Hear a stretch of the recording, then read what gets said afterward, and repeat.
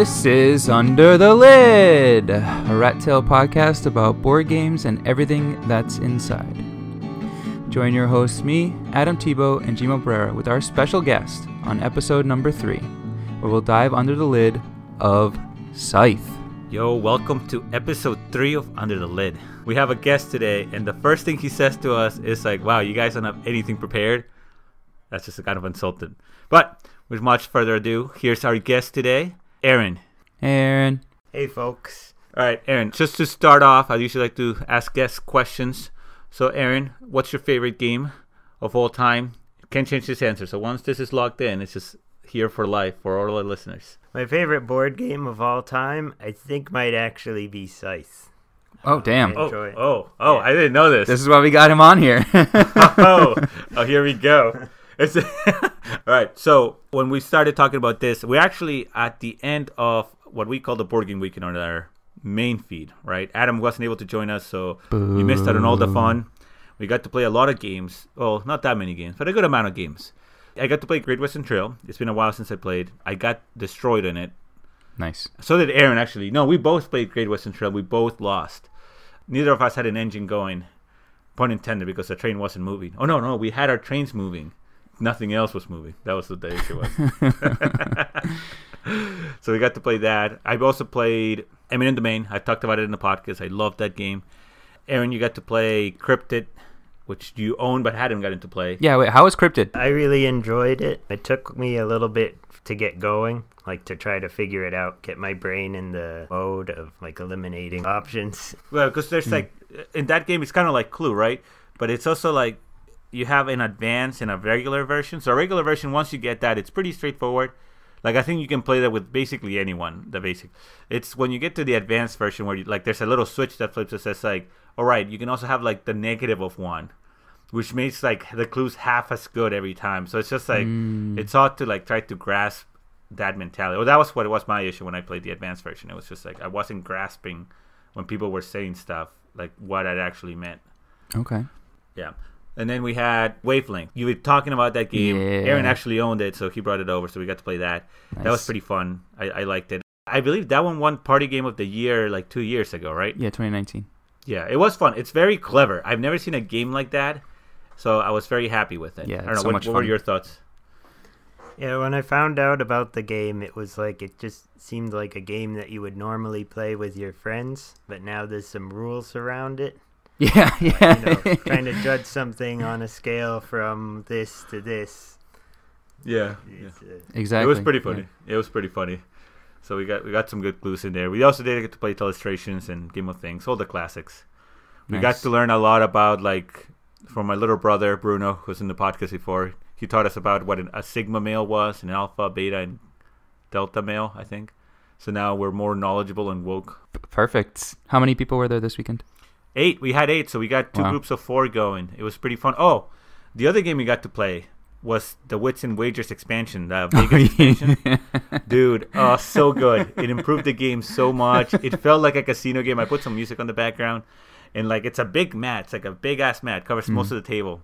Oh, really? And then I, I used real poker chips, so we were all playing with those. It was pretty fun. I, it definitely improved the game. Next time we play Wits and Wagers, you're gonna really enjoy this one. Like they add all these different odds and like ways of betting, like roulette style. oh, okay. So it was pretty neat. It was pretty neat. cool. All right, you guys want to move into Scythe? Wait, was that the only question you had for Aren? Was his favorite game? Aren, if you had to eat one board game, it cannot be a card game. What board game would you eat? There's a game with all these like blue crystals that I think I played before. I can't remember what it is. You know which ones like they're like plastic, like transparent gems. In every game, every, I saw them on Ascension, and then right after Ascension, every other fucking Yeah. game had it. You know which one I think would be fun? I think it's like Caverna because there's like all these tiny pieces, but there's just like a shit ton of them. So you're like sitting down for an hour eating this game. What about Feast for Odin? It's literally a feast for Odin. We we played Gizmos yesterday, and the marbles oh, okay. were looking pretty good. nice, You nice. know what? That's a solid one. I think kids do eat marbles, and you can probably digest those like somewhat safe. There's not that many, so you're right. That's a good choice.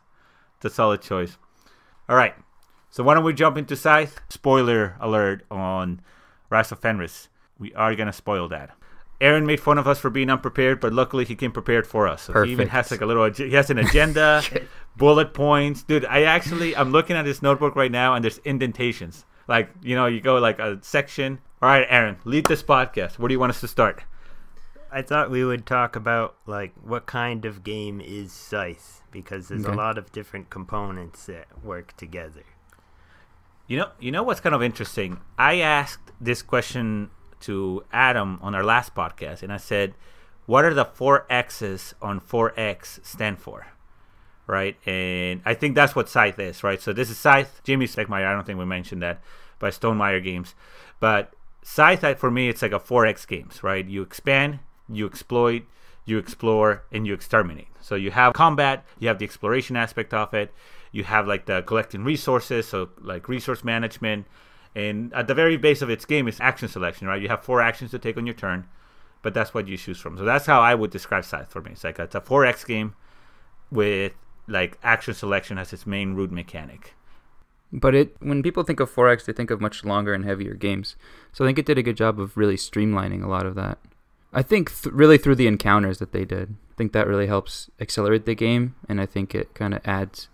You know, you still get that explore kind of aspect of it, but really accelerates your your game position. We're probably going to be talking about how much we like the game or dislike the game and stuff, but I remember the very first time I played it, the thing that actually put me off from this game was because I went in thinking, okay, this is a 4X game. I'm thinking Twilight Imperium, Eclipse, Mhm. stuff like that, right? Mhm.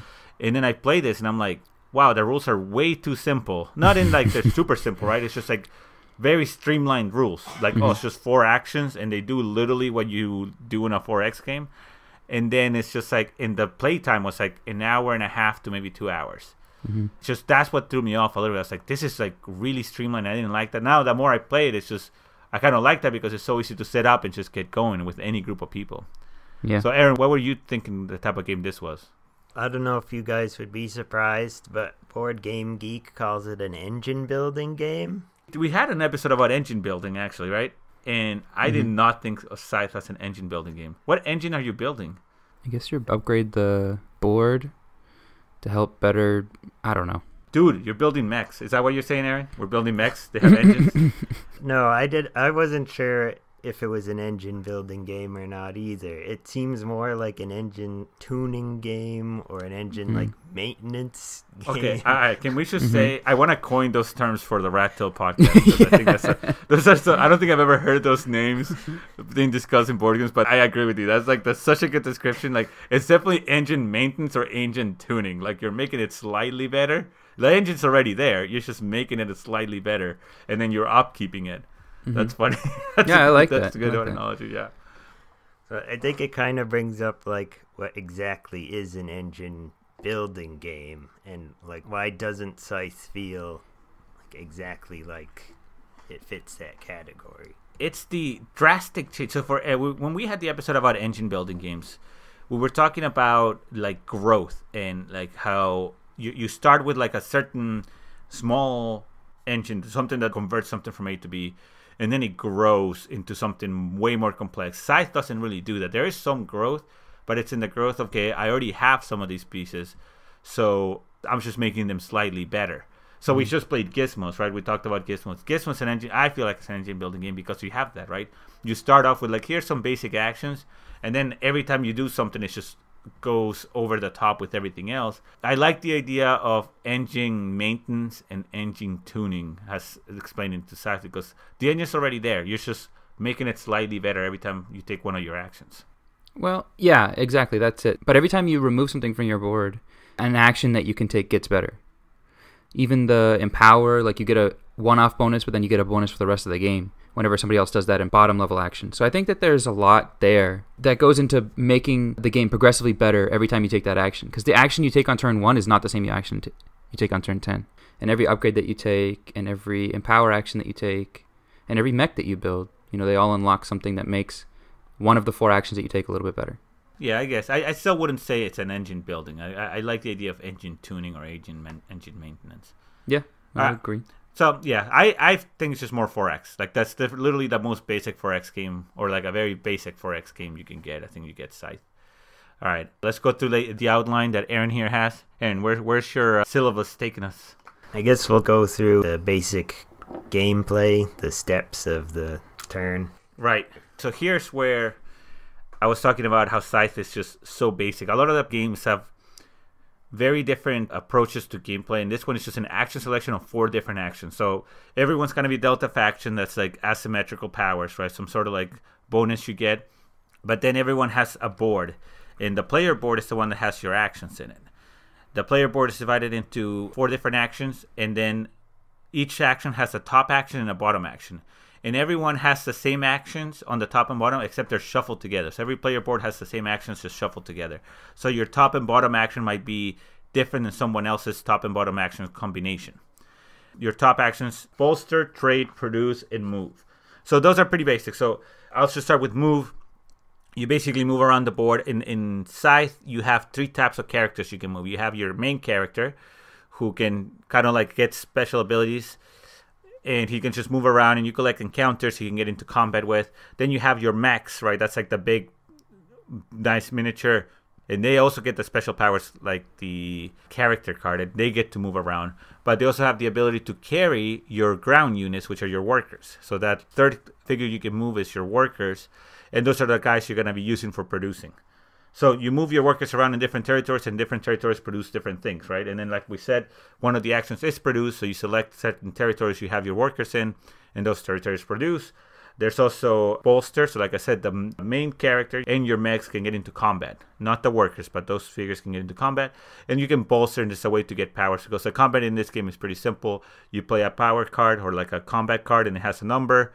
And then you also get to secretly bid what's called like your power, which you get more through bolsters on the board.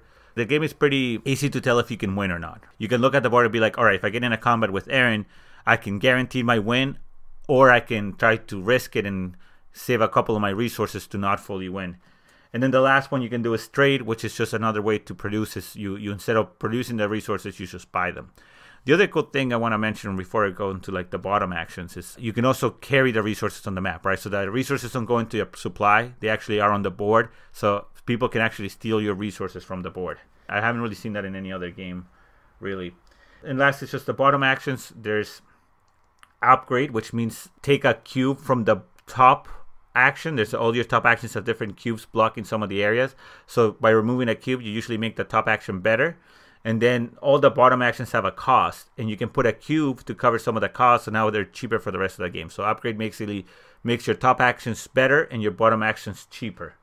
There's deploy which is how you make mechs in this game. So you, uh, you can make up to four mechs every time you make a mech you unlock a special ability that's given to the mech and to your player character. There's also build. You can build up to four buildings. Each building does something different and they usually they're in place on the top row and then you get to put them out on the board. The important thing to note here is kind of like Terra Mystica style, where the buildings or the cubes they actually reveal something else, and now you get a special ability. There's also enlist. Enlisting is a little disc you actually remove from the bottom, and you get a one-time bonus with that disc.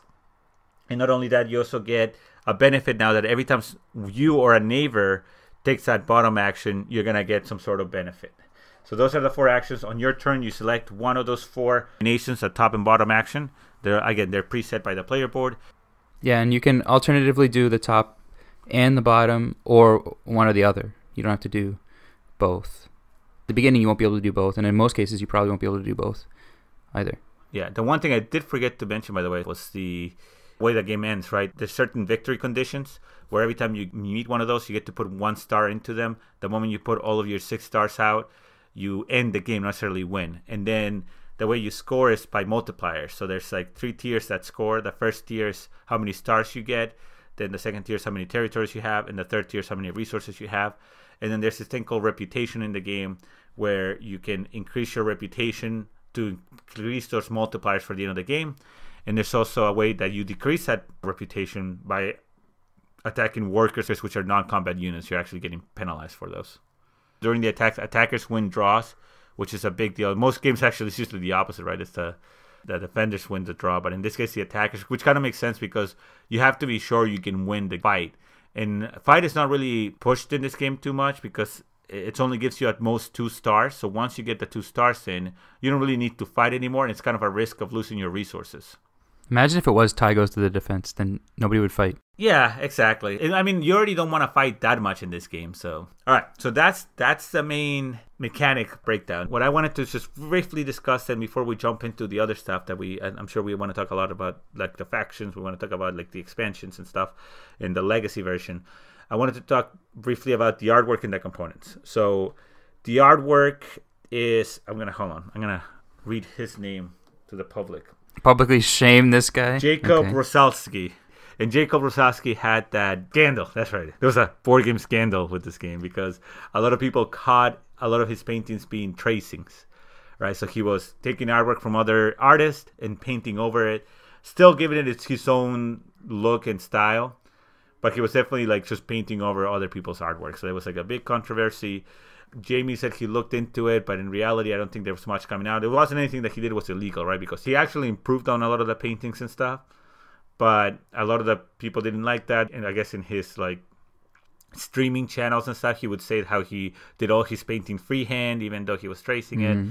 So that was some of the drama that was there. Well, I will say I remember first impressions, like first time I ever saw it. It was incredible. I mean, the map is huge, and he had a lot of minor detail that made the map look really good and make it look, you know, like a, a world. There was different sections of the world with different climates and different terrain, and I thought it looked really good. It wasn't just, you know, like Settlers of Catan style thing where each hexagon has like its own isolated thing and then they just like pasted hexagons together, you know, kind of thing. It all seamlessly blended between all of the different factions, even though they all live in relatively different climates. Yeah, it's not my favorite type of artwork, but it's really well done. And I think the components are already Stonemaier games, so you know you're gonna get good components.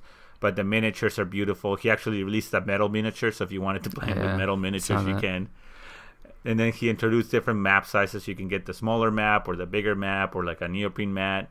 So there's a lot to add up to this game to make it pretty. The game, like on the table, I have not seen a game that looks this good. Yeah, Aren, what are your first impressions and what do you own? Yeah, when I first saw this game, I was pretty amazed. Uh, this is actually like one of my favorite kinds of art. Something that seems mundane and boring, but if you look a little bit closely, there's like a little touch of whimsy in there.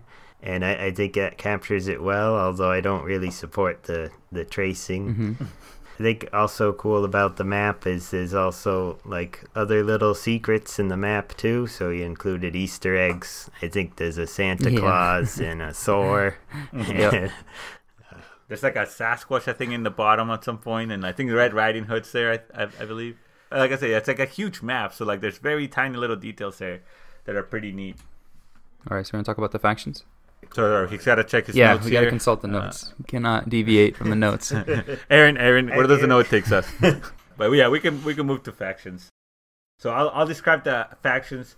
You know what's funny? Uh, the reason Aren came with notes, and he was he actually when we were getting ready for this podcast, he the big box, and he was like, "Yeah, you know, I've been calling these factions like Russia and like Albany." So I was like, "Oh right, that's what I call them. That's not actually the name of the factions. it's always it's the yellow faction." All right, wait, wait, wait. Wait, before we go, each of us, let's go around the table and try to guess them. All right, why don't, why don't we do this? Why don't we do this? I'm gonna have the rule book, Okay. and you guys have to tell me what the faction is. And and here's how we'll do it. Well, you tell me the faction, and you tell me the mascot, right? So they all each have an animal, too. Oh, wait, so, So it's. hey hey no cheating. wait, it's just Aren. Aren and I now? What the hell? Yeah, it's just Aren. And I only Guys, know I gotta look like. I need to look like a professional. So unless you want to do it, doesn't No, matter. no, I, c- it's I okay. doesn't. No, I, right. Why don't we all three All right, do guys, it? So we'll, ah, no, no, I'll just read the answers because I got the rule book in front of me. So, all right, let's start with the red faction. We'll go with Aren first. Aren, what do you think the name of the red faction is, and what do you think the mascot is? Is it, do you want the name of the mascot? No, no, it's just the animal. What do you oh. think the animal is, and what the name of the faction is? I can tell you, it's the red faction, which is a star. The symbol's a star. That one is clearly based on Russia Yes. or the Soviet Yeah. Union. And I think it's like Rusviet. I don't know the second word. It's like S- Rusviet Syndicate or something like that. The mascot is a tiger. All right, Adam, what are you thinking? I think he's right with Rusviet, but I thought it was the bear. All right. I forgot my little ding in buzzer, but it's okay. The answer is the Rusviet or Rusviet Union. So it's there. So you guys got that. and it is a tiger. Okay. Adam, come on, man. All right, now Adam, you're gonna go first on this Mm-hmm. one. So we're gonna go to the blue faction. The symbol for this faction is actually Mjolnir from Thor. It's a hammer. So this is the blue faction. What is the name and mascot? I think this one it's like the Nordic one, but I think it was called Polonia. Maybe this one's the one with the bear. I'm just gonna keep guessing the bear until I get the bear. One of them has to be a bear. All right, what are you thinking, Aren? Uh, this one is the Nordic something, and it's a yak or a muskox. Oh yes. All right, so I guess this is Aren's favorite game because it is Nordic. So you guys were both on Nordic, but you gave it a different name. So the faction is Nordic Kingdoms or Nordic, and yeah, it's like the buffalo-looking thing. Is that what you're yeah, saying? that's it. That's Yeah. it. Yeah, yeah, it's like with like the horns on the side. So yeah, that's what it is. All right, jumping at Aren again. This is the yellow faction. The yellow faction has the horse, has the logo. So what do you think the yellow faction's name is and mascot? I don't remember the name of this one at all. I always associate it with like southeastern Europe, like maybe around Turkey. I know it's a bird, but not sure what kind of bird either. All right, what are you thinking, Adam? I, I'm just guessing what names I know, and this hasn't been said yet. So I think this one's called the bear. Albion. I think this one's called Albion, and I think this one. It's a bear. No, it's not the bear. I know this one's not the bear. I do think I remember that. It's the the standee is the lady with the the bird on her on her hand, because she's the one that has to go get the extra encounters, right? I think this is the one that does two encounters. It can choose two of the three options. This one is like Crimea. Ah, Crimea, Crimea, faction. okay. So Crimean Khanate. It's a full name. And yes, it's a lady with the eagle, I think, or it's like a hawk, or it's a pretty big hawk. All right. This is the white faction with the faction symbol being a bear. So who's this? Adam first now? All right, so Adam. faction symbol's a bear. All right. This is a white faction with a bear All right, this faction one- symbol. This one I'm going What? horse, and I'm gonna say no. this one I, I think maybe this one's Polonia then with the bear. Aren, agree, disagree? Yeah, this is Polonia with the bear, and I actually remember the name of this one. The name of the bear is Wojtek, oh. because, and I remember this because there was actually a bear named Wojtek in the Polish army at some Oh, point. what really? Yeah. It might not have been Poland specifically. It might have been Russia instead. But I know that there was a bear in an army named Wojtek in real life history. They Oh, did their oh, shit, research. that's cool. They did their research. Yeah. All right. So this is Republic of Polania. So yes, Polania, and it obviously is the bear. Yes, and it's yeah, it's Anna and Wojtek is the name of I guess the leader and the bear. That's cool. That's cool. All right. Next, the Black faction, whose symbol is a wolf. Aren. So this is a wolf symbol. So what do you think it is? Yeah, well, the mascot is a wolf, and it's the Saxony Empire, I think. what are you thinking, Adam? Just sticking to whatever Aren says. I swear one was called Albion, but apparently I might be wrong. You know, I'm gonna say this one's Albion. All right. I don't know where this guy's getting his like knowledge from. Dude, if you're gonna cheat, at least cheat properly. so the faction is the Saxonic Empire, Okay. and it is the the, the Black Wolf is uh, Gunther Nacht and Tag. Is the name of the the leader and the wolf. All right, guys. Expansion time. Oh man. Scythe Base has five factions. There's two factions in one expansion, and then two more factions on the next expansion. Next one is I'm gonna not even say what the symbols are anymore. So I'm gonna say what's the green faction. So I stop giving away the answer. What's the green faction, Adam? I don't even know. I know that the this one I don't even remember if this one's the the flags of the traps. It's been a while since I played Scythe, especially with the expansion. I like how Adam like remembers the characters by the abilities, not by like the lore of the game. It's just like this is the one with this ability. I don't know. I'm gonna call them the flag bearers, and it's snake. Aren, what do you think? I shouldn't participate. I just read it before we started. Adam, this is the Albion. Fuck! Oh my god! I swear I knew there was one. Yeah. This is Clan Albion, and it's the Warthog with the flags. So he's the one that does the flags. Oh my god, this is terrible. That's, that's uh, Connor and Max. That's the name of the mascot and the leader. All right, so then this is to you, Aren. Do, unless you want, you you'd read this one too. Uh, yeah. Okay, so Adam, Oh, Jesus Christ. cheating, what is the purple faction's name? Well, good Well, this is the one with the one. traps. I know that. I don't know. Slovia. What's the animal? Fucking snake. the fuck, dude? There's no snakes in this game. No, this one has a frog. I'm certain. Is it? I don't think Adam's ever played Scythe. I think this is the first time he's played it. All right, so this is the Togawa Shogunate, and it's a monkey. It was a monkey? Yeah, it's the one that she has Where? a monkey on her shoulders. It's Oh, super okay. cool. All right, Wait, wait. Before we move on, can we like? I know you guys have mentioned this on another episode, but what do you think about Scythe? The map has these expansion factions already Mm. on there, but they don't come with the base game. I'm glad you brought that I'm up, Aren. wondering. you know, here's what we're gonna do. I got a big rant, so let's finish up this because then I got to rant about this. Okay. So we'll do. This is the last two factions. These are factions that ones located in the Rise of Fenris expansion. So now we're back to Aren. Aren, what is the light blue faction? Name and mascot. I don't know what the name of the faction is, but it's supposed to be Nikola Tesla's daughter. And that's all I know. Uh, the name, yeah, th- the name was like a female name, I think, because I think this is the one I actually ended up playing in the in the campaign. I think it actually started with an N too, but I don't remember her name. Do you remember the mascot? I didn't even know she had one. Thought it was just like her. All right. So the answer you're looking for is Vesna, which is the Tesla. Fa- it's, it's the Vesna faction, but it says Tesla on the faction, but it's we- they call it best on the rulebook, and it's a mechanical wolf. So it's like a wolf that's a Oh, slightly blue pattern. okay, okay. Yep, yep. All right, guys. And then the last faction is the Orange faction. Why do you guys think it's the Orange faction? Remember the story. This one is Nikola Tesla, right?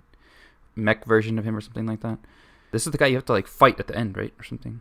Somebody gets to become him for like just the last scenario uh, or two scenario or something. I think you get this one around like scenario six. I don't know what the mascot is though. A Tesla coil. Aren, do you have any idea on this one? Uh, I think this one is Rasputin, but I don't know his faction name or his companion. All right, guys. This is Fenris. This is like Oh, the, the lol. name after him. you fucked. But it is Rasputin, and uh, I Oh, it's believe he has like a Okay. hawk. I, I, yeah, like another bird. So he is Rasputin. In fact, I, I lost the page, but yes, he's Rasputin. Oh, wait, so do you fight at the in the last scenario? You fight Tesla. What? When do you fight? So Tesla shows up. I forgot why. There's a miniature of Tesla, but this is a guy with the giant mechs, right? Like Ah, the yeah, yeah, yeah, yeah, yeah, keep yeah, tipping yeah, over. yeah. Like You I played with him, I think, in our. Yeah, yeah. there- He's the one that starts with all the negative points Uh-huh. on the player mat. I love the mechs, but they're so like tall that they tip over so easily. So yeah, this is Rasputin and Likho. Oh no, sorry. I think it's an owl. It's not a bird. It's an uh, not just a bird. It's, I think it's an owl. I think I remember in the scenario you had to like go to the middle and there was a box and then you open the box and it was a giant fucking mech, and then you had to beat the yeah. mech in order yeah, to yeah, win. So, so you're right. So we had to fight the mech, but then after you fight the mech, you unlock the faction, Mm-hmm. which will go through like the the campaign. All right. Why don't I just do a quick rant real quick? I talked about it before. If you already have this idea for the expansion, why not just include it? That's my thing. I get it. Maybe he was trying to save money. You know, by adding two more factions, maybe it'll drive the price a little too high, Mm-hmm. and you don't really need all seven to play because you only really are playing a five-player game at most. So maybe that's why he didn't include it. I'm not a fan. I don't like when people do it.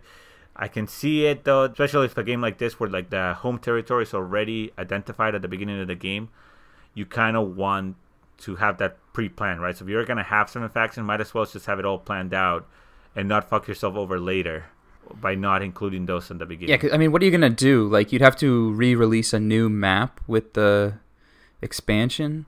I mean, I understand why he did it, and it's all basically because like board games are trying to fit this price point that video games have fit into for the last five years, and they realize they're competing with them, which makes sense. But personally, like I said on the last on a recent episode, I'd rather just pay eighty-five to ninety bucks and have it come with the first expansion and the base game, just have it all in one big box it's not even about paying more money. Like it's not even about oh MSRP for Scythe is sixty and MSRP for Invaders from Afar is like thirty five or forty. It's not even about that. It's more about the fact that like I'd rather just have them come together and get a more complete experience in one box. Even if you charge me more than they are separate, I don't care. I'd rather just have it all together. What are you thinking, Aren? Yeah, I I see both points of view. One thing that makes me think a little bit about like if I wanted to buy these separately, like holding off on the expansion is the fact that the expansions for Invaders from Afar play a little differently from the other ones. A lot different. And sometimes it feels like they don't quite mesh well. Yes. I remember the first time I played a game with Invaders from Afar expansions, and I just, it felt like I was playing again Scythe for the first time because I really didn't understand how the factions were going to interact with the existing factions and how the factions were going to behave on their own. Like Aren said, they're so different from what you would expect from the normal five factions in the game that it's just a completely different game when they're interacting with the game. Which I mean is a good thing. I mean that's what you're going for, right? You want to after you've been playing Scythe for a whole year, year and a half or whatever or 2 years, you want to have that refreshing like new take on the game and be able to experience it kind of new again. And that's why I liked what Rise of Fenris did because yeah, you're right. The Invaders from Afar expansions way different. So I was like, okay, that's cool. You're not doing the same fucking shit. Okay, let me sit in one spot, play there for four turns, and then try to jump off. It was like, all right, you have availability to the map, you just don't have speed, so you have to play Mhm, it differently. mhm. And then Rise of Fenris did it even more hardcore, where they're like, okay, here's two new factions that also play completely different. Like they Mhm. really don't follow that pattern. So they, I do enjoy the way the expansions were released. I, I can see like what Aren said, like okay, these are really different expansions. So maybe you don't want to necessarily with the same expansions because the asymmetry is like a significant amount. They're definitely harder to play. Like I think it's definitely harder to play with all four newer ex- factions than they are with the base factions, Mhm. which are not that straightforward. We can actually just jump into factions, I guess, at this point. So what I'll do, let's go to the factions, right? Mhm. And then we'll talk about which ones we like, what we dislike, and do we think some of them are overpowered or anything like that, right? Like like any other game with asymmetrical powers, that's the issues that you Mhm. have. All right, so you guys guessed the factions. I was impressed with uh, Aren. I was Yep. I, I was amused with Adam, I guess you can say. All right. So, Black Faction, which is Saxony, they have the ability that there's no limit to the number of stars you can place from completing objectives and winning combat. So, mono aggro. Rusviet, which is red, is you may choose the same section on your player mat as the previous turns. So, you can choose the same action multiple times. Is Rusviet the only faction that has a configuration that's banned? I think there were two factions. Aren wrote them down. What the fuck? We wrote them down for our Rise of Fenris campaign, and I just found the sheet we wrote them on. Oh, okay. okay. So Rusviet is right. You cannot have the player mat that's industrial. What's the other banned one? So the other one is Crimea, which is the. Uh, I'll just jump to that one. Right, the yellow faction is Crimea, which is once Oh, per yeah. turn you may spend one combat card as if it were one resource token. Uh-huh. So Crimea cannot be with patriotic. And that was actually what's funny about that one is like, I think that was like the fans found that that they were a little too overpowered, and then Jamey actually addressed it in the Rise of Fenris book that you shouldn't play with those two together. There's the Nordic, which is the blue. Those are your workers may move across rivers. so Yeah, you got swimming. swimmers. Yeah. Woo! That one's always funny. Yeah. That's always funny because you can get so far on the map. And like, again, we have that population mechanic where like if you kill workers, you lose population. So you're like, come at me, bro. Yep. The next one is Polania, which is white. Is you can pick up to two options per encounter card. So those are the base ones, right? Again, nothing too game breaking or different. Then there's the Clan Albion, which is the green faction, which is after moving your character, you may place a flag token on its territory. And again, the mech abilities on this one lets you like teleport to flags, and then flags are actually they count as territories you control at the end of the game. The Togawa Shogunate, which is purple, has the ability to, after moving your character, you may place an arm trap token on its territory. And very similarly, you can unlock more abilities for your trap tokens with by building mechs. And these, like the tokens, are basically all negative effects when someone lands on them. So you're placing mines on around the board. Mm-hmm. Then there's Vesna, who's the light blue faction from Rise of Fenris. Start the game with three factory cards. After you use a factory card, including one acquired from the factory, discard it. And I believe this one you also have to fill it up with abilities for your mechs. Like it doesn't have all the Yes. abilities. Two of them are not there. Yeah. Yeah. So and then lastly, it's the orange faction, which is Fenris. I guess from the Rise of Fenris. And after moving your character, you may place one influence token on its territory. You may then place one more token on any other occupied token list primary ter- terrain territory. So basically, this character starts with all these influence tokens that are negative points. So he starts the game with like negative 16 points or something, but has to move around, you actually get to spread them out to other places so people end up getting them. Kind of like the traps that the purple faction has. All right, so I'll start. Favorite faction? I don't know. I kind of like factions that don't give me too much an advantage. Like I like the green faction because I think it's kind of weird to play it. Like I think the yellow faction for me was kind of like I played it a lot, but it felt like too straightforward to like okay, it's just like I can always do this. Like I, I like factions like the blue faction or the green faction where like, all right, what do I do with this ability? How do I actually make it work? As opposed to something that's always beneficial no matter what you do, right? Like, oh, choose two encounters. I mean, two options to encounters. I think that's just too straightforward. Like, what the benefit is. I'd rather have it to work to get me the benefit. So I would go with either the green faction or maybe the blue one, but probably the green. Why don't we go with Aren? I think my favorite faction is the white one, Polania, that lets you choose two. The one I was just bitching about. Yeah. it just seems like you get a really huge advantage if you get the right card. I don't know. I like to play a little more like I was gonna say janky, and I don't know if that applies here. But I, I like to take like a little bit more of a chance with things like that. Not so much attacking and stuff, but when you can kind of roll the dice on something, it it's really satisfying to like get a mech for free because you could choose two of the options that allowed you to do that. And I also like the they can submerge and teleport using the lakes when you release one of your mechs, and that one's really useful too. All right, Adam, which one's yours? Yeah, I think for me, actually, black and white are very close for me as my favorites as well. And I really like the white faction for a slightly different reason than what Aren said. I, I like snowballing to be able to uh, assert dominance on the map, and start attacking, and it allows you to having the two different having the two different encounter options allows you to accelerate your game faster and get more resources quicker which allows you to take a bigger advantage on the map quicker. Mm-hmm. And then the black one, same kind of the same idea. I like to take the quick advantage on the map. It's more focused for me that I can just focus on the attacking and get out there and start disrupting other people's games so that I don't have to think too much about making my own strategy or anything like that. I can just, you know, kind of disrupt everybody else's strategy and hopefully win off that. I really. Oh, are we doing dislike or no? Yeah, yeah. Go ahead. Okay. Tell the hate. I dislike the blue faction and the red faction. I guess I haven't played enough with the expansion factions to have a formulated opinion, so I guess I'm just going with base game.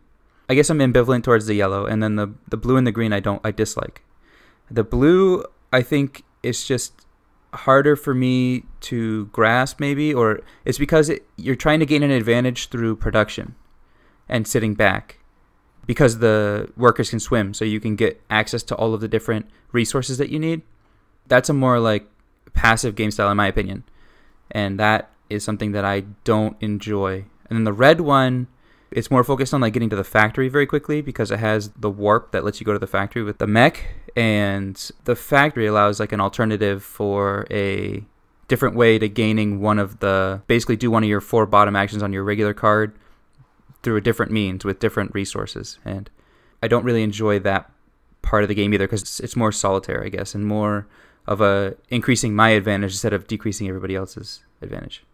Go, are we going backwards? You want to, Aren? You want to go next? Which ones do you hate? Yeah, I dislike the red faction as well. I don't like the mechanic where you can choose the same thing twice in a row. I feel like it's kind of like the whole game is choosing the order of actions to take and it, it kind of like makes it into a different game where I, I think it kind of like baits you into choosing something twice in a row and that might not be the right action to take. And so it kind of becomes almost like a crutch, I guess. Mm-hmm. All right, so me, mine is actually the orange faction, Fenris from the Rise of Fenris, mainly because it's like every time I play that faction, I don't get it. I don't get how to win it. It's like, oh, here's you have to be aggressive. Like I read the strategy tip, it's like you have to be aggressive, and so it's like, yeah, but I can only move every other move, and I like every mm-hmm. time you move, I can try to take some of these tokens out, but I can never get enough tokens out. And it has that ability to leap, which is kind of neat. I like the leaping that like, okay, you just because you're such a tall mech, you just walk over instead of like having to cross. But I think that disadvantage of 16 negative, or I forgot how many, but it's a good amount of negative points right on your board, right at the beginning of the game. It's just too fucking harsh to get rid of. Like the the game never lasted long enough for me to be like, all right, I'm gonna remove enough of these to like penalize other players, or I don't know if it's like they're there to because the faction maybe they think it's too strong. In which case they're like, okay, here's how we balance the faction. The faction is too strong, so here's some negative points to balance it out. But I never felt like it was that strong. So I, it's more like a personal opinion of like I just played it a good a couple of times, and I just I'm not getting how to win with it. So I just end up leaping around the board and just giving maybe one or two negative points to maybe like two players, and then that's it. Does this one have modular mech abilities too, or no? This one does not have modular mech abilities. No, it does not. Okay. So why don't we talk about? We'll just do really quickly what mechanics you like, and if there's any mechanics you dislike. I think that would be a good one. So again, I'll, I'll just start over, and then we can jump. I think to maybe to the expansions. All right. So mechanics that I like. I love the player board. Uh, I don't know if it's a mechanic, but I love the way he set up the player board to be like, all right, you just do the top and bottom action. Again, it's so easy to explain, and then it gives you kind of a goal to like either upgrade your pieces or use the enlist or like make the buildings, and they all somehow relate to your player board. So I really like the way that's set up. I really enjoy that. The one that I don't like is enlisting. I don't like the way enlisting works in this game just because it gives you the one time benefit, which is always useful. But it also feels kind of like patched on. It felt like, all right, he wants you to make buildings, he wants you to make mechs, he wants you to upgrade. And then he ran out of ideas, so he's like, oh shit, I need a fourth bottom action, so I guess we're gonna call him enlisting something. And then that's how he came up with the mechanic. It feels like everything else a little more tight. The buildings might not be as tightly connected to the other mechanics, but they're a little bit more so, I think, than the enlist are. And I, I get the point of the enlist. It's like okay, what people are going to be doing next to me. But for me, it felt like more of an afterthought, and I felt like there was maybe another different type of infrastructure he could have created for a fourth area to look into. Why don't we jump to you, Adam? I really like the resources. I like how they're on the ground or on the table instead of like going into your own resource pool. I think that was a really unique and, and interesting idea, and it adds a lot to the tension. You know, we talked a little bit about earlier about how the tie goes to the attacker, and that's because they're it, to encourage so much attacking. I think also putting the resources on the board encourages a lot more attacking as well, and I think that those are really necessary for this game to work the way that it does. And I think that he did a really good job with that. And it's very, very unique and makes a very interesting gameplay. Something that I don't like, I think for me is the factory cards because I do like the enlisting ability, and I don't like that the factory cards kind of give you like a, a roundabout way to get done the goals of the game, and that I also talked we talked about this on a different podcast too. I don't like how the factory itself is worth three different territories on its own. Aren, what do you like and what do you hate? I like the main basic mechanic, the four action selections. I think that really does a good job, like breaking down a whole bunch of different options into like four choices that you can really plan pretty far ahead within reason because someone's always going to attack you when you don't want them to. and I'm not sure if there's anything that I really dislike other than maybe like the expansion factions. Like they feel like they just move a little too slow. And then the reputation mechanic is just, it's tough to work with. Reputation can really make or break a game. If you Mhm. have good reputation, it can really set you up for a win, even if you don't have six stars. And it's a little tough to keep that reputation up. That's fair. I like how Aren started that sentence. Like, I don't know if there's anything I dislike, but here, let me get going. there's this mechanic. This is what I'm here. This is factions.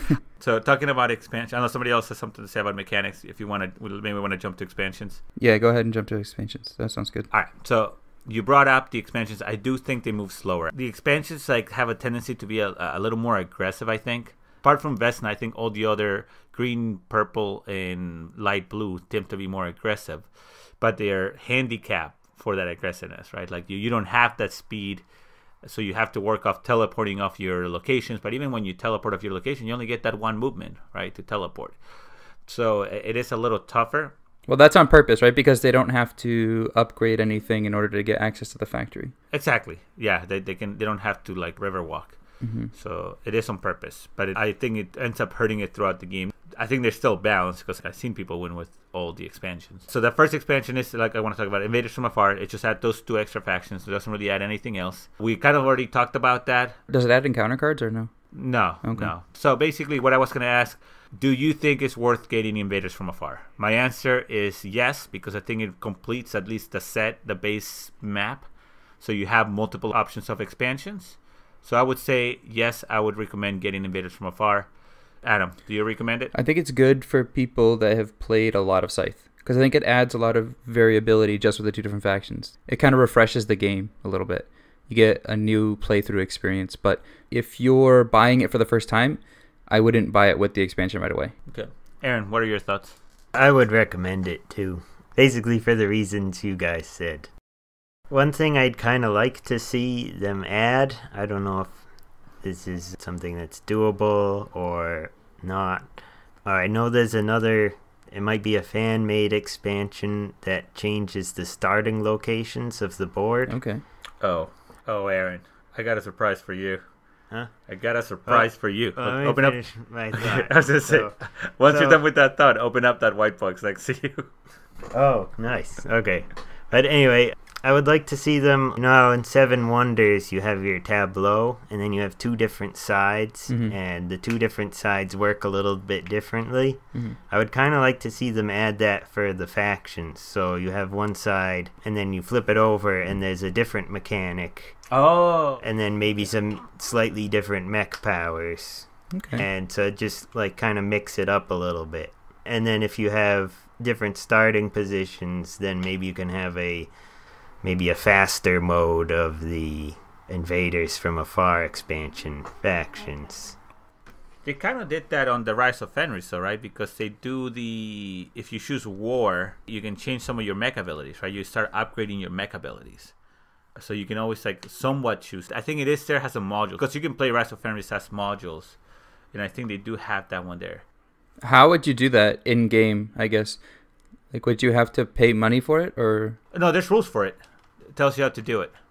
So I don't know if you draft them or something, but there's rules that you can actually. so it's from the beginning of the game? It's not in mid game. It's not mid game, but there is a module to play with them. So like in the rule book, it tells you how to add them into it's just a game without the expansion. Okay. So I, I'm not sure how to do it because I've only done it through the expansion, where you have to like build up to it. I'm gonna jump to this next expansion just because Aren brought it up. So the the last expansion from Scythe was a modular board and random starting positions. It has mixed reviews because of the game is balanced, right, to like each faction. Starting position. Right. Yeah. So like the game is balanced to each starting faction, but this one actually shuffles that up. So you actually shuffle up the board. So that is available. I haven't played it. I can't recommend it or not, but it is something like what Aren said. It's like I want to play it just to see. Okay, let's change it up a little bit. Leaning towards is probably not super balanced because of like the way it works. Because you know you, you want specific things with certain factions, but you know it, it is something interesting to to look into. I don't know if anybody else has thoughts on this one. I don't think any of us has gotten to actually try the modular board. you should not mix the base factions with the expansion factions if you're doing random on the board because of what we talked about. Because if your base faction has speed and they can just get to the factory so quick.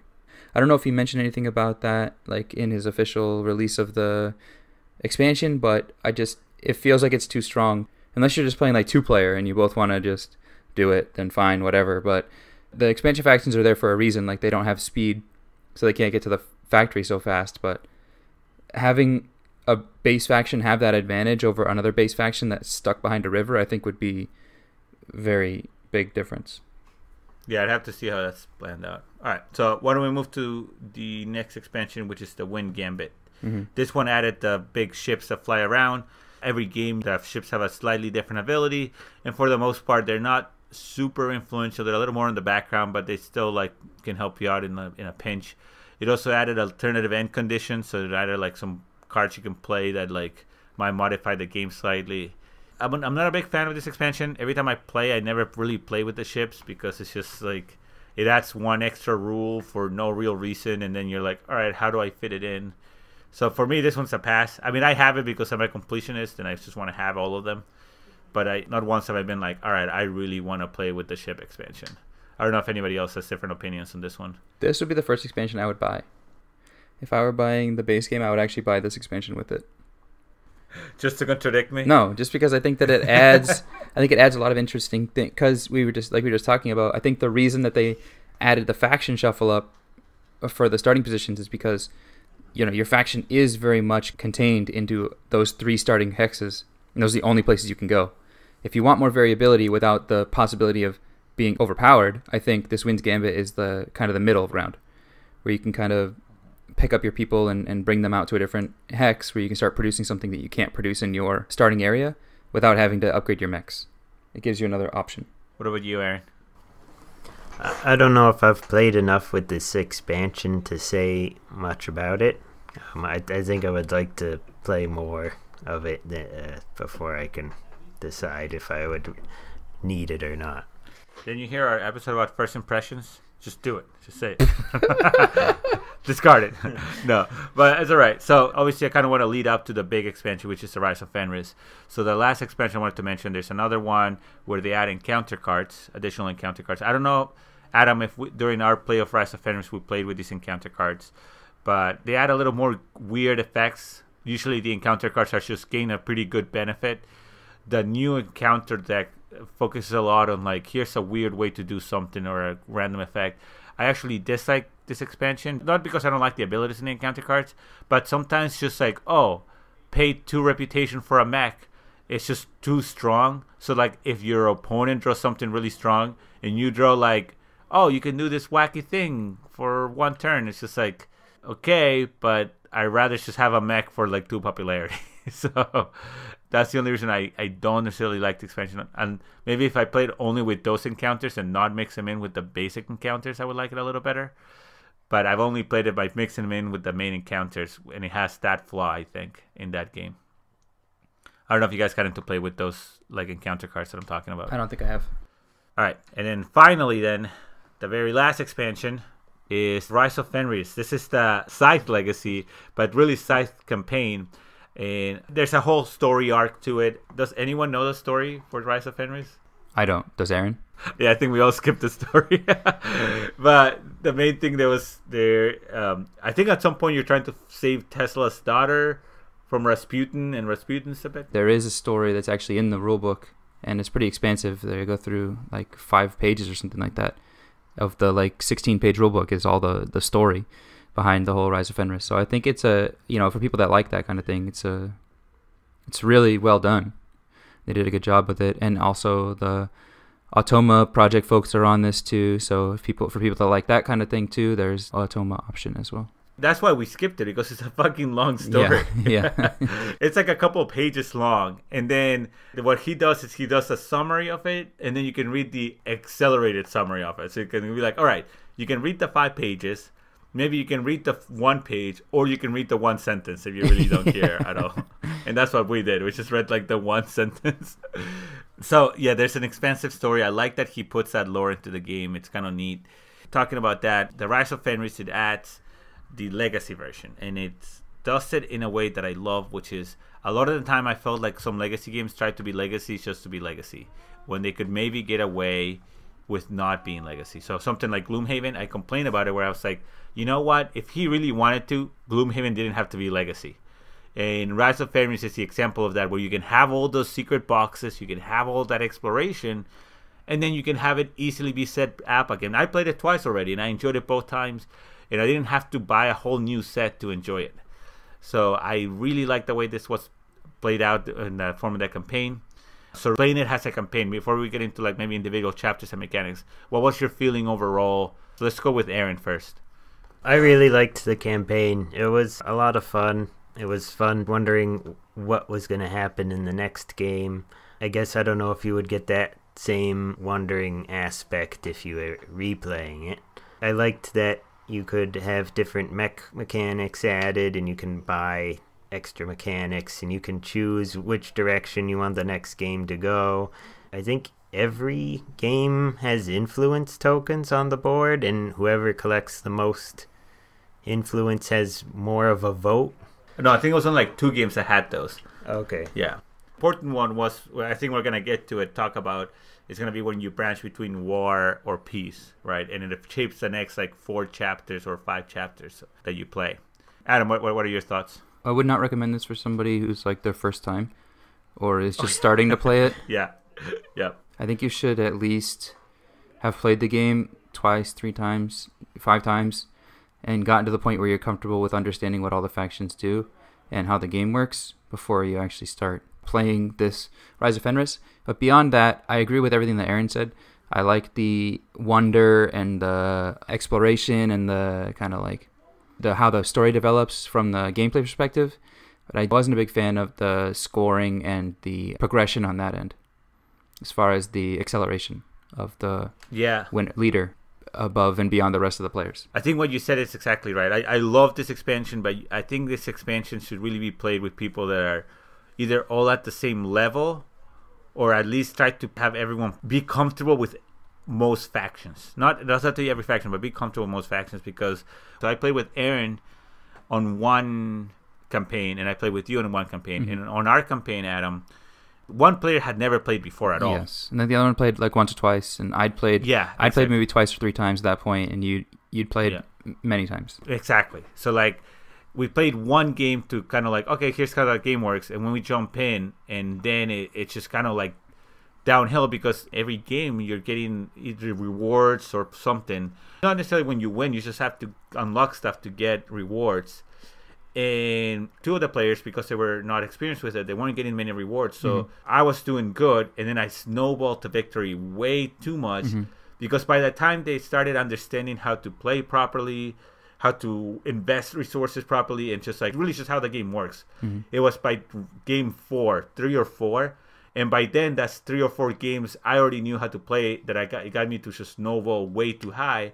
So by game like six and seven, I could have just sit out on the last three games and still would have won Yeah, with the amount of points I had and the amount of resources I had. there was no catch up available at all. For that reason, I I would play through the campaign mode like once, just so you progressively unlock the stuff. You know, get that exposure and that excitement. But then, personally, I would not play through the campaign again because I do not enjoy that part of the campaign with the snowballing and the scoring and all of that. But I would play these as modules, and and that I would enjoy.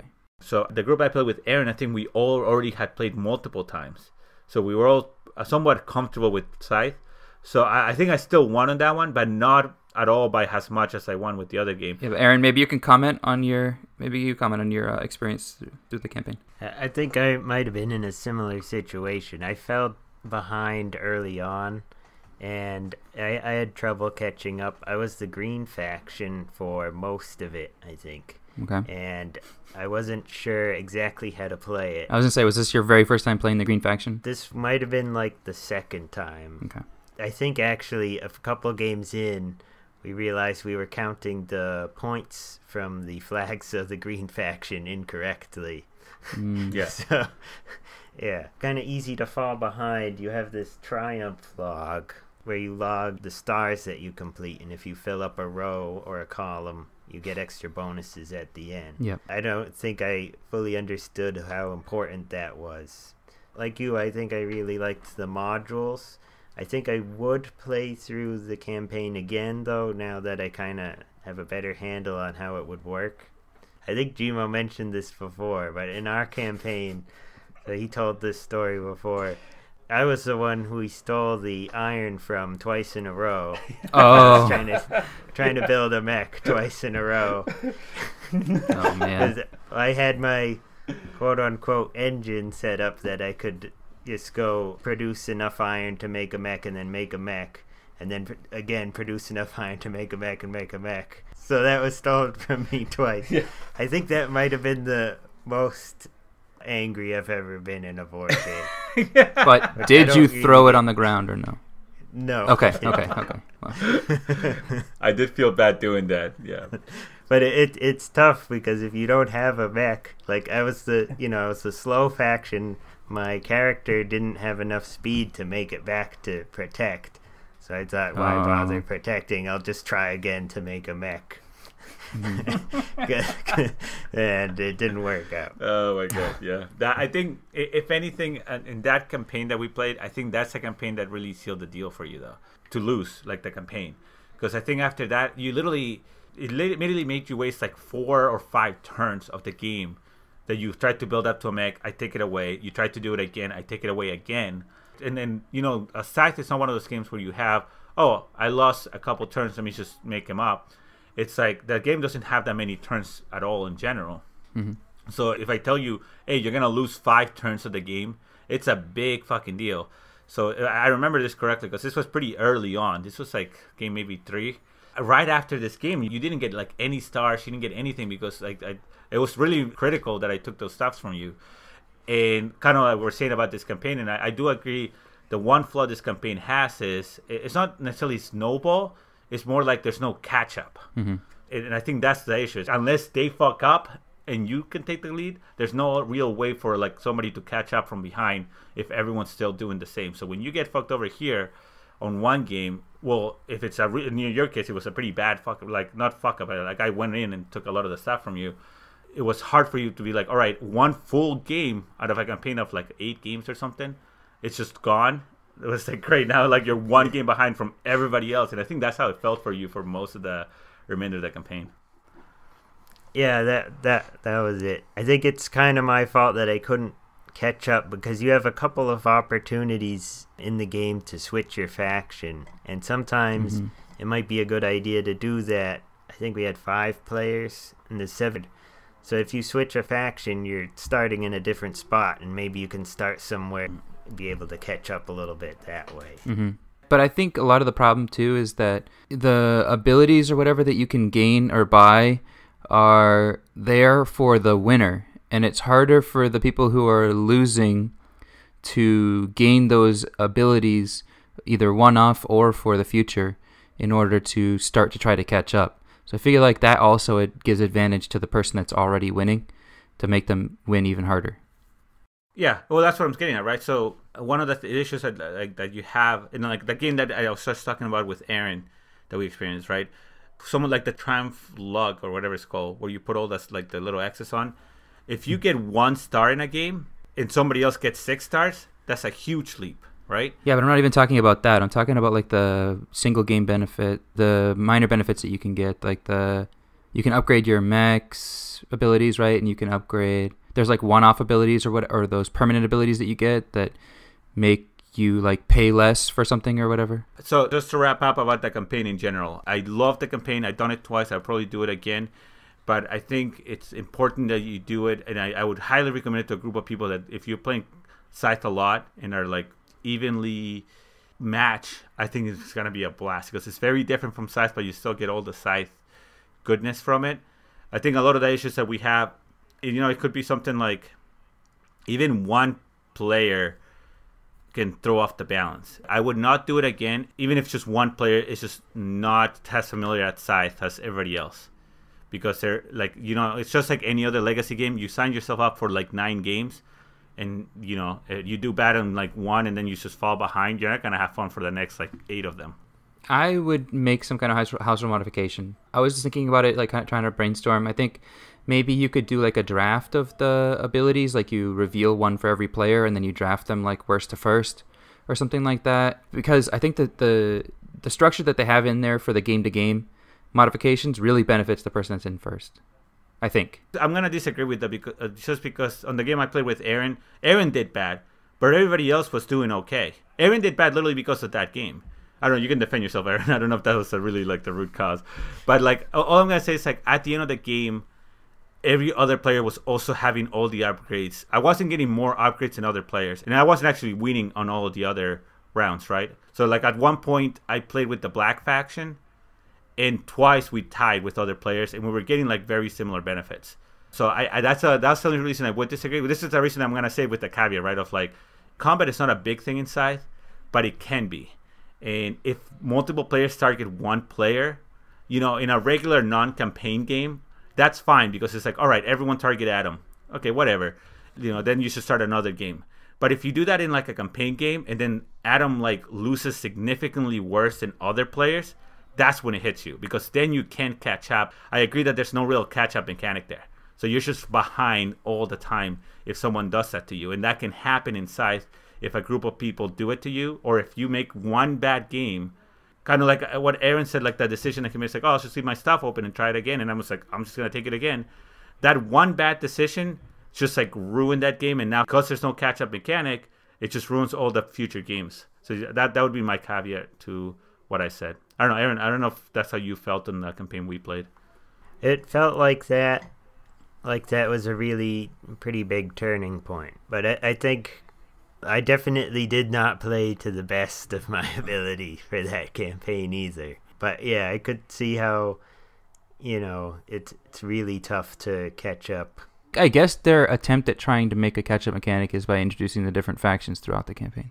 Or like Aren said, like you get to change, you can move around or change a different to a different faction. So, do you think that's a handicap? Like the person that got the new faction is like getting a new faction is a handicap? Is that what you're saying? Mm, I think they're both very strong, but it does make you have to adapt and change your gameplay like mid game.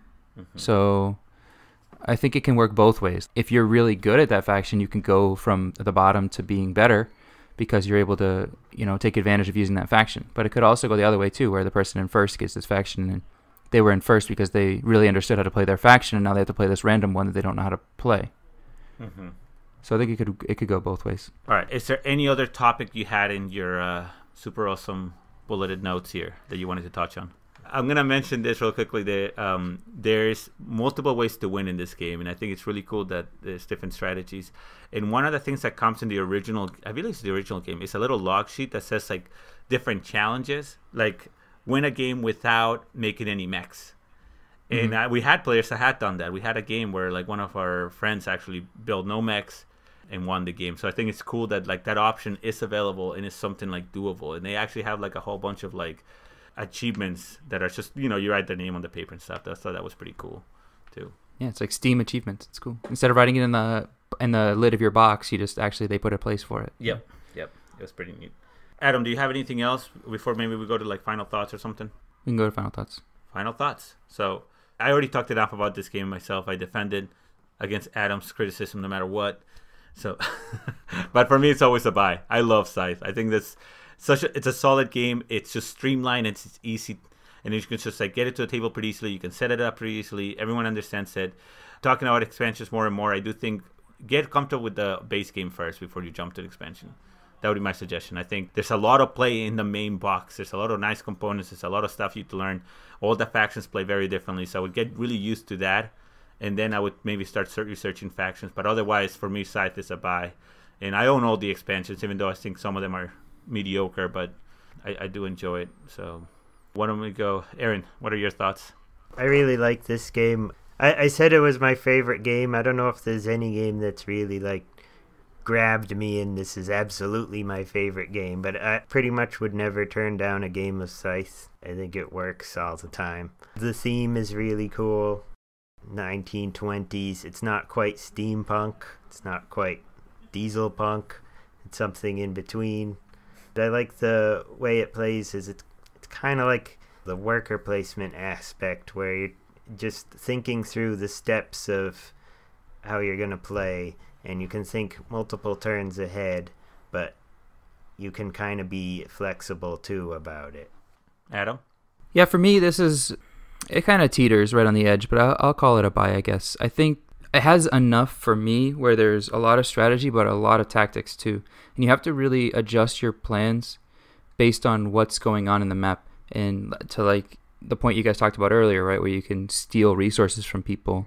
It really creates a different effect that a lot of other games don't have. So you you have to be a lot more conservative and cautious and it rewards people for being more aggressive.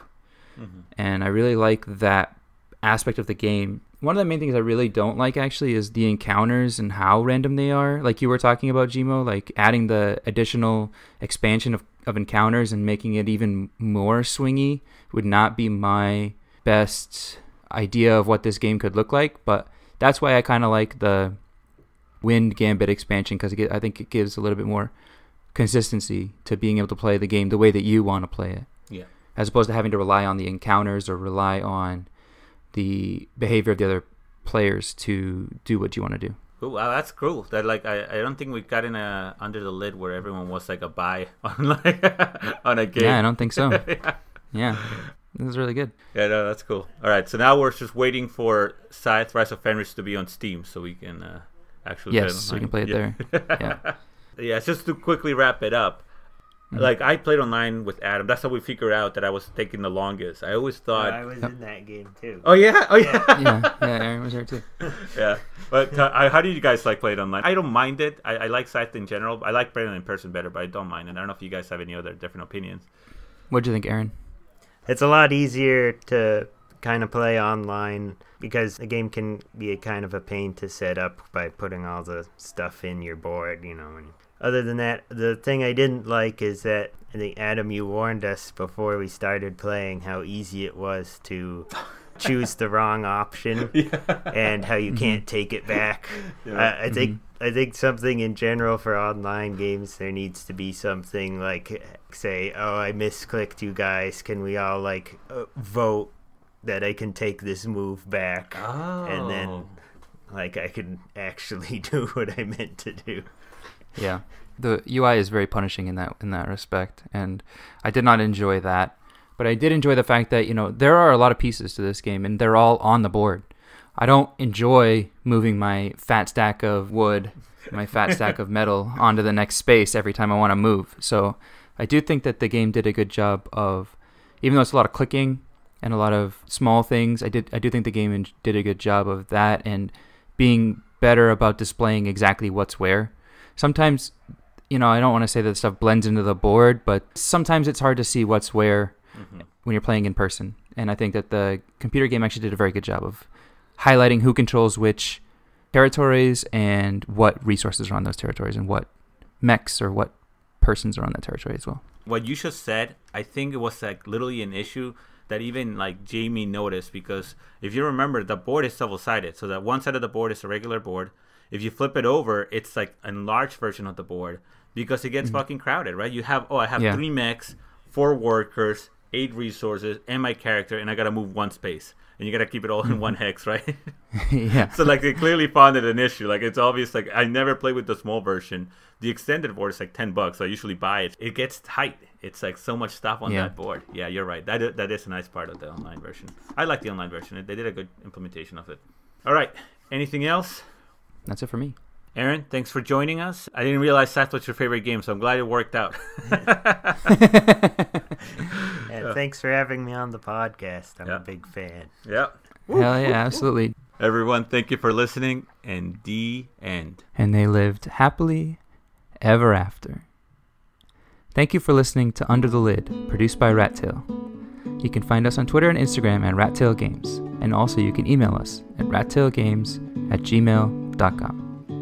Visit our website, www.rattale.com. Music by Bruno Barrera at Bruno Bar on SoundCloud. Edited and hosted by Adam Thibault and Gimo Barrera. Thanks for listening, and continue our story next time.